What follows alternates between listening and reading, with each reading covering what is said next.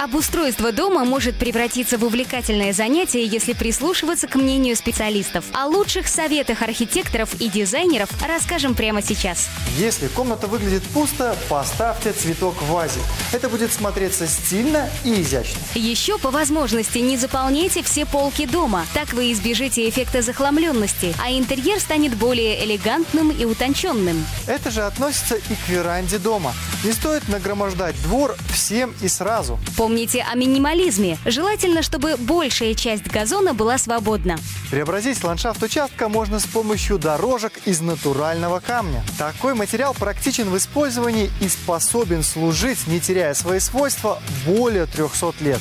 Превратите веранду в любимое место всех гостей и домашних, оборудуя ее мягкими креслами на деревянных ножках и журнальным столиком из массива. Позаботьтесь о уютном спальном месте.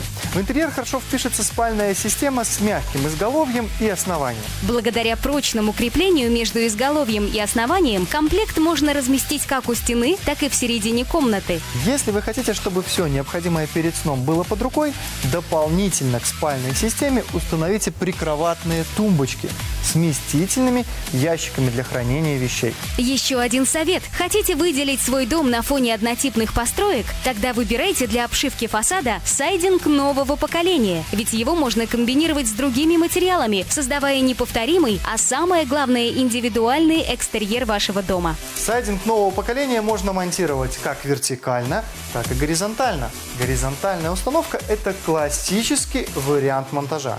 А вертикальная обычно используется для выделения архитектурных форм – фронтонов или террас. Для придания нужного внешнего вида следует учитывать дизайн и цветовую палитру окружающих дом элементов, заборов, построек на участке, кровли. Также сайдинг отлично сочетается и с другими стройматериалами, например, с кирпичом или штукатуркой. А чтобы сохранить внешний вид фасада здания на долгие годы, следует соблюдать правильную технологию монтажа и ухода за сайдингом. Еще совет. Не смешивайте в дизайне множество разных оттенков. Для этого используйте Используйте не более трех локальных цветов одновременно. Если вы уверены в своих силах, можете дополнить интерьер близкими тонами. Результат не заставит себя ждать. Комната будет выглядеть более гармонично. При этом в любом, даже самом консервативном интерьере должна быть динамика. Ее можно легко получить за счет ярких подушек или другого текстиля. Еще одно правило – это доминант. Если у вас классический стиль, то внести яркий акцент можно за счет ковра.